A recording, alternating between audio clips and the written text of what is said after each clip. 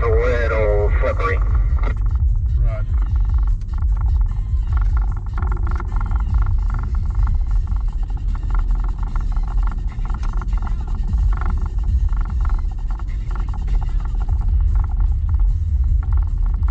Imagine that felt weird with the uh, sway bar issue.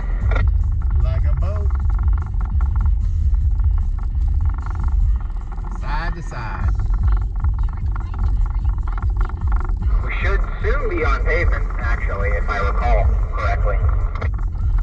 Oh, don't ruin my day, man. Come on now. Just giving you a heads up.